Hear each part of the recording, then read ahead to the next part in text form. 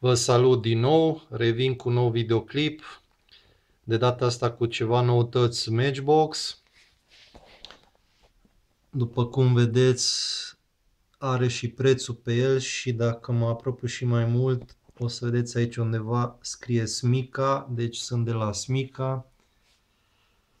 Mașinile astea, practic ele sunt din 2020, din câte am uh, urmărit, deci nu pot să spun că sunt noutăți din 2021, însă abia acum au apărut pe piață, la noi, din păcate. Oricum, blisterul din 2021 o să vedeți că e mai altfel, pentru că am făcut o comandă din în afara țării, pentru primele modele, să zic așa, din 2021, cel puțin uh, un Bentley foarte fain. Uh, mi-a plăcut și atunci am decis să iau tot ce e nou din 2021, dar asta într-un videoclip uh, viitor. Până atunci să vă prezint deci aceste noutăți. Repet, sunt de la Smica sau Smic, depinde de fiecare cum vrea să pronunțe. Am să încep cu acest prim model, deci vorbim de un Jeep Gladiator. Ăsta îl mai am, cred că și la, de la Hot Wheels, numai că aici e varianta fără uși, ceea ce mi se pare iar uh, destul de interesant. Și am să desfac, deci cam așa arată pe blister. Seria MBX Jungle. Să vedem și la bază Jeep Gladiator.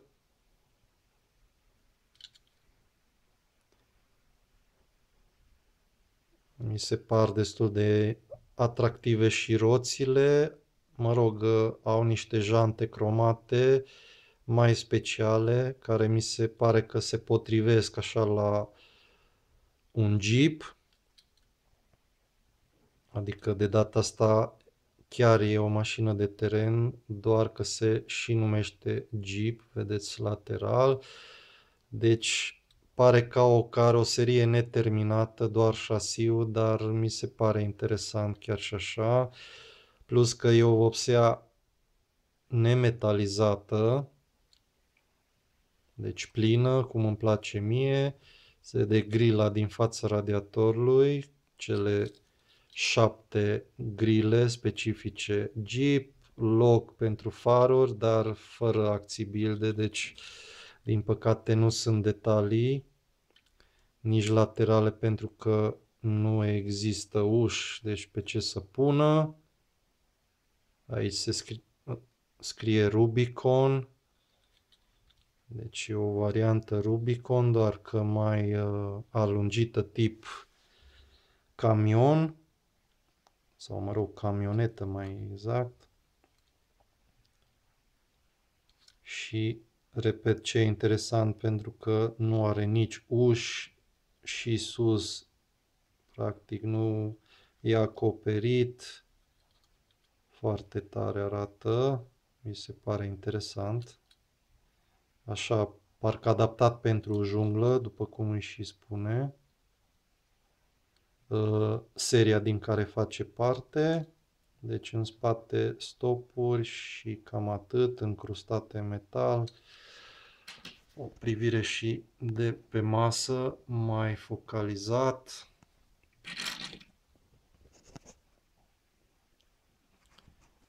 Așa. Privire și de sus.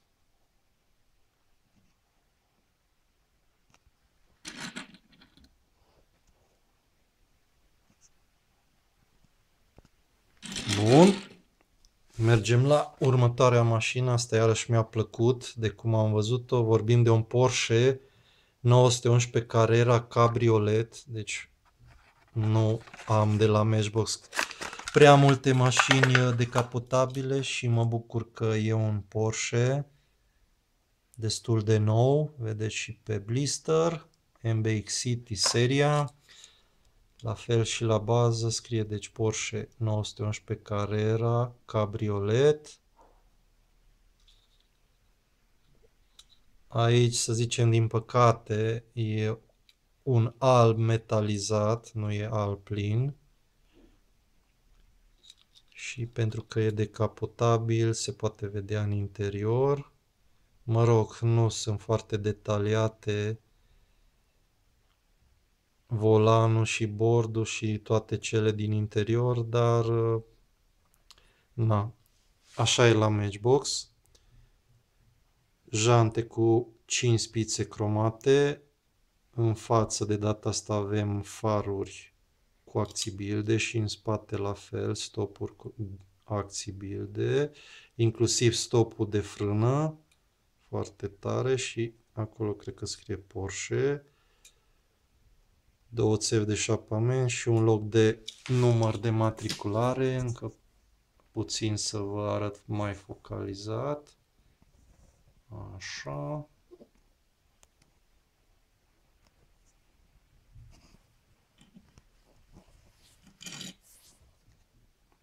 Foarte tare Porsche-ul ăsta. Și acum din față se vede și sigla Porsche pe capotă și se vede și oglinda retrovizoare și astea laterale, doar că sunt încrustate în metal. Foarte tare. Bun. Trecem la următoarea machetă, un Chevy K1500, ăsta sincer nu știu dacă l-am sau nu, cel puțin după acel K nu ar părea că l-am.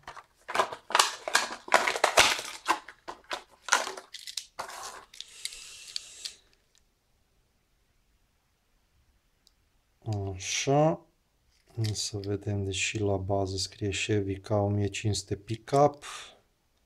Ăsta are roți foarte mari, deci tip Monster Truck. Cu suspensii înalte, roți mari vopsite culoarea bronzului, deci auriu. O privire și din față, se desig la Chevrolet și cât de cât farurile încrustate în plastic. În spate tot așa încrustate stopuri. Deci aici primează mai mult detaliile laterale, tot cu acțibil de ceva firmă de trail hiker, deci de drumeții, de alpinism, chestii montane. Cum îmi place și mie, de altfel. Bun, să-l pun pe masă să vă arăt un pic și focalizat.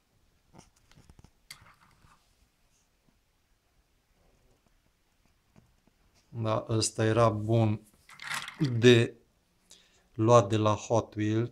Acolo am foarte multe pick-up truck-uri și mașini de teren. Dar o să vă arăt la final de videoclip, le pun în uh, RAF și o să vedeți cam ce am. Și de la Matchbox, pentru că am un raft întreg și de la Matchbox. Bun, trecem la următorul. Ăsta l-am luat mai mult pentru că e o variație de mașină de poliție, dar o am ca și model. Un model din 2016 Ford Interceptor Utility. Cam așa arată pe blister, tot MBX City. Deci, repet, l-am luat mai mult pentru că îmi plac mașinile de poliție și pentru că e o altă variație a acestui model. De data asta El Segundo, deci stilul ăsta coloristic cu negru și dunga asta albastră, foarte tare, plus că e un negru plin, nemetalizat, foarte tare, detalii față-spate, iarăși cum îmi place stopuri cu bilde, are și un cârlig în spate, sus aici un girofar, dar e transparent, într-una cu restul parbrizului, aici nu se vede sigla, dar în spatele protecției se vede totuși, acel oval. Înscrisul, bineînțeles că nu se mai vede, ar trebui să fie cu albastru și să scrie for, dar asta e. Faruri tot cu acțibilde, astea se văd cât de cât și acum o să pun pe masă un pic să vă arăt mai focalizat. Așa. Și steagul Americii, văd că e lateral. Foarte tare și cu dunga asta albastră. Jante tip disc, cromate. Asta e în general specific mașinilor clasice, dar se pare că întâlnim și la mașini de poliție. Nu mă deranjează. Privire și de sus și din spate.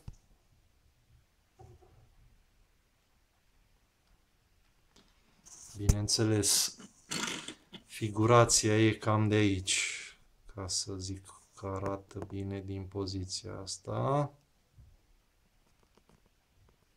Ok.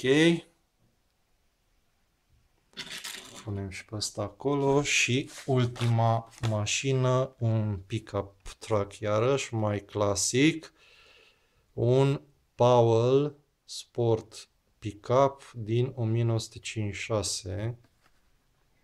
Vedeți cum arată pe blister. Detalii față-spate, iarăși ceea ce mă bucură.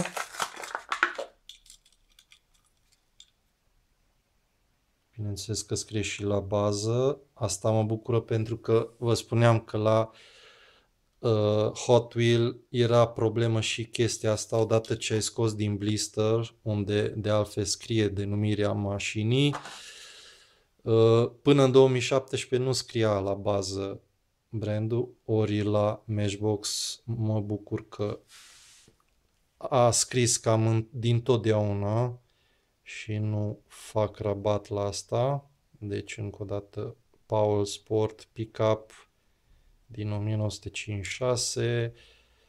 Cum vă spuneam, ca și la mașina de poliție în general, mașinile clasice au tipul ăsta de jantă, tip disc, cromate, dar mi se și pare că se potrivește așa pentru orice mașină clasică. E stilul ăsta așa plăcut, aproape de realitate, să spun așa, ca și vopsea, bineînțeles că are o serie de metal, uh, vopsea nemetalizată, un galben deschis, un crem, ca la prăjitura cremșnit, în față faruri cu acțibilde și se vede și uh, sigla, grila din fața radiatorului și asta este în evidență, în spate stopul și se vede chiar și un număr de matriculare, deci un detaliu în plus. Și acum să vă arăt așa în față, deci cam așa arată, foarte tare. Pick-up track-urile astea din anii 50 foarte interesante, multe filme western sau, mă rog, filme cu tematică de la țară. Am văzut prezente astfel de camionete, deci personajul dacă stă undeva în countryside, deci la țară, tot timpul are o camionetă de asta învechită și mi se par foarte tari camionetele astea de asta și le colecționez în special de la Hot Wheel pentru că au o varietate mai mare acolo, dar nu mă deranjează nici de la Matchbox. Privire și de sus. Acolo e plastic, bineînțeles. Și mie din față îmi place. Bun, deci cam astea au fost uh, noutățile și am mai luat încă două care nu am mai făcut videoclip pentru ele, dar am să vi le arăt la raft. Acum o mică defilare. Da, Porsche-ul ăsta e vedeta noutăților și chiar și acest Ford arată binișor și acum am să iau pe rând, în primul rând, mașina de poliție ca să mă duc la raftul cu mașini de poliție.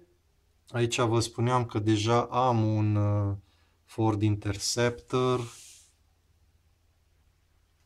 Nici nu știu unde este pentru că am două rânduri. Aici și aici. Posibil ăsta să fie. Nu, ăsta e Ford Explorer. Îmi cer scuze, aici este. Deci varianta Highway Patrol. Da, Ford Utility Interceptor din 2006, deci varianta asta negru cu alb și varianta negru cu albastru, să zic El Secundo. O să-l pun tot aici, lângă fratele lui atunci, deci cam astea două și aici vedeți suita de mașini de poliție care le am de la Matchbox și bineînțeles și partea de sus se continuă. Probabil că cei care colecționați Smashbox le aveți și voi. Și acum să luăm Asta e mașină clasică, deci asta înseamnă aici. Din păcate nu mai am loc. Aici sunt mașinile clasice de la Matchbox și în special în rândul ăsta aici am camionete și am să pun deocamdată aici să-l întind mai încolo. Bun. Și vă spuneam de mașini de teren. Am să le iau pe astea două. Și coborâm jos la raftul de aici unde am mașini de teren.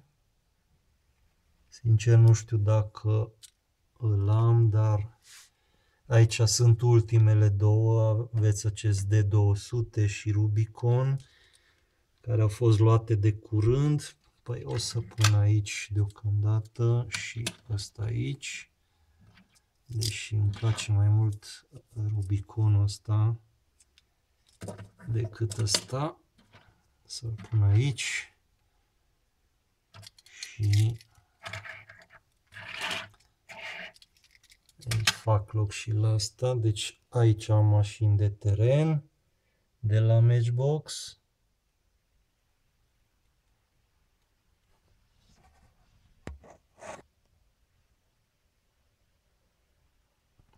Aici e varianta Gladiator, după cum vedeți, dar e cu caroserie normală. Deci e o variație interesantă a mașinii și ajungem la mașini de stradă. Astea au aici iarăși mai multe rafturi, raftul de mașini germane să spun așa europene. Vedeți chiar și acest Giulia foarte tare. Aici sunt Porsche, așa că am să-l pun și pe asta aici. Astea sunt Porsche-urile, Panamera și două Cayman. Și aici un Carrera și încă un cabriolet.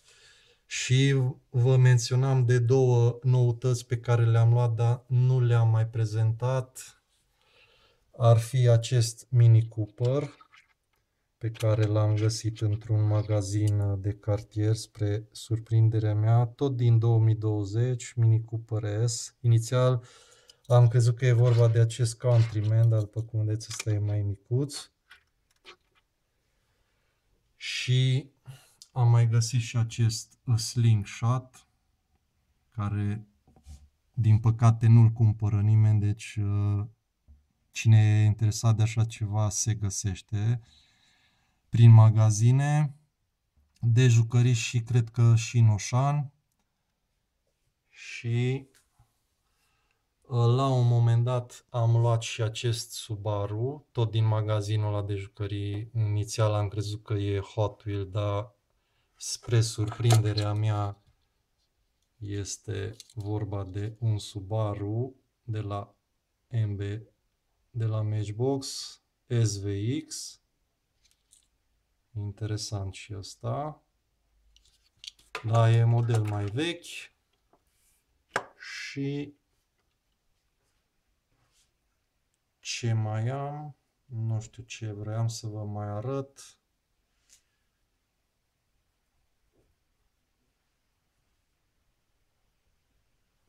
Da, bineînțeles. Uh, am găsit și acest Chevrolet C8, după cum vedeți. Dacă binevoiește să se focalizeze. Dacă nu, încerc de aici să vă arăt câteva detalii. Cam așa arată, îmi place din spate, arată foarte atrăgător, are și număr de matriculare.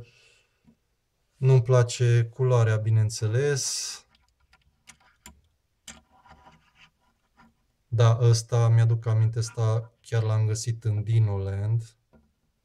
Deci un magazin mai cunoscut de jucării. Cam așa arată de lateral. Are și în față, după cum vedeți, acțibilde. Deci cam astea au mai fost niște mașinuțe Matchbox pe care le-am găsit așa adunate de pe aici pe acolo, dar tot din 2020 sunt. Și cu asta închei videoclipul. Vă mulțumesc pentru atenție și până data viitoare toate cele bune.